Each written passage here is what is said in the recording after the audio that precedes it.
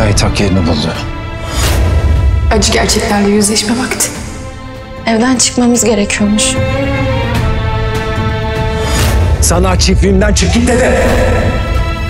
Bak bir gün bu yaptıklarından çok pişman olacaksın.